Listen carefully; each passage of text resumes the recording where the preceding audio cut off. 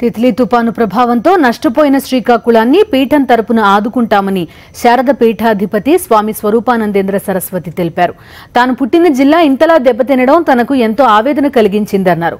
కేరళకు ఏ విధంగా పీఠం తరపున ఆహార పదార్థాలు బట్టలు అందించామో అదేవిధంగా శ్రీకాకుళానికి కూడా ట్రస్ట్ సభ్యులందరితో చర్చించి సహాయం అందిస్తామని హామీ ఇచ్చారు. మన భారతదేశంలో అటు కేరళలో చాలా ప్రమాదకరమైన బీభత్సమైన ఉపా తుఫాను కలిగితే మేము చాతుర్మాస దీక్షలో ఉన్నప్పుడు ఋషికేశ్లో ఇక్కడి నుంచి చాలామంది భక్తుల్ని సేకరించి ఎన్నో వస్త్రాలు ఆహార పదార్థాలు ఎన్నో పంపించాం. కానీ దురదృష్టం ఏమిటంటే భారతదేశంలో కేరళ వాళ్ళు ఎక్కడైనా బ్రతికి తెరువు గురించి ఉన్నట్లు మళ్ళా యావత్తు భారతదేశంలో ఒక శ్రీకాకుళం ప్రాంతీయులు మాత్రము వాళ్ళు బ్రతుకు తెరువు కోసం ఎక్కడెక్కడో జీవించే ఆశాజీవులు.